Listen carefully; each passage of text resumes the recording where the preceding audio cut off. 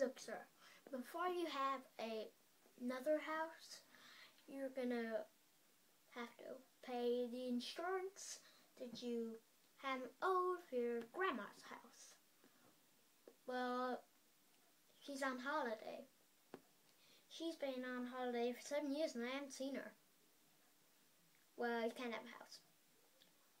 What did you say?